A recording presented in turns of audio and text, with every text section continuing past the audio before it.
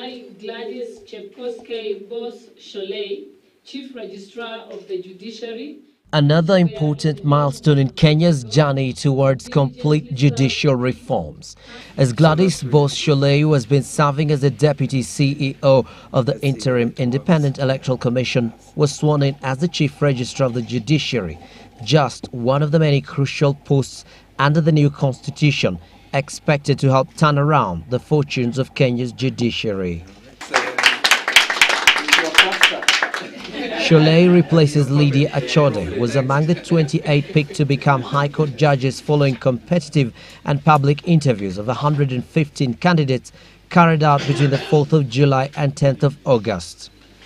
We have recruited 14 women, two Kenyans in foreign and regional diaspora, a Kenyan European, a woman with albinism, 11 serving magistrates, and this representation is also from various counties. Those picked to serve as High Court judges are US-based law lecturer Professor Ngugi Mwaura, Grace Mumbi Ngugi, who is an advocate living with albinism, Joseph Mutava from the Central Bank, Murithi Mudhoga, law lecturer Pauline Nyamweya. Others are former law lecturer George Kimondo, lawyer David Majanja Shikomera, who served in the Waki Commission, Magistrate Cecilia Githua, Jaden Turonira, Koriru Kipiegon, Stella Muketi, Rose Ogo Atieno, Grace Nzioka, Christine Mioli, Ungundi Hedwig Imbosa, East Africa Court Registrar Stella Mutuku, James Wakiaga, Eric Ogola, George Odunga, City Advocate Havelock Jonathan Bowen, Advocate Chemitei Hilary Kiplagat, James Makau, Advocate Francis Tuiyott, Roslyn Korir Lagat, Richard Mwongo Mururu, Alfred Mabeya, and State Counsel Abigail Mshila.